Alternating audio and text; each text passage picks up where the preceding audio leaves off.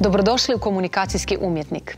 Iznimna mi je čast pozdraviti danas našu prvakinju drame u Hrvatskom narodnom kazalištu u Zagrebu, Jadranku Đokić. Zanima me kako si počela?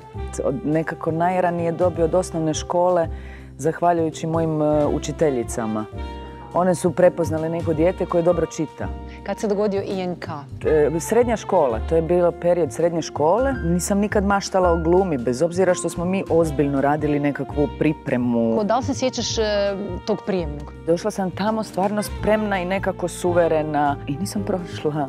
Ta trema i te, ti snažni napade i treme su bili ranije negdje. Ali bi ja krenula se suočavati s tim strahom. Znači, sustavni rad, neumorni rad koji te onda može dovesti do toga da e, ćeš nešto u trenutku ili prema inspiraciji Kao što ste čuli i vidjeli, i oni najveći i dramske prvakinje zaista jako puno vježbaju. Prema tome, javni nastup se vježba.